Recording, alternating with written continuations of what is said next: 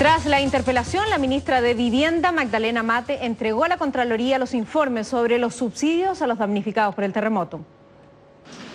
En la reunión, la secretaria de Estado entregó el detalle de los subsidios para los damnificados tras la interpelación en la cual declaró el lunes pasado. La Contraloría de la República dijo que no le interesa verse envuelto en procesos políticos.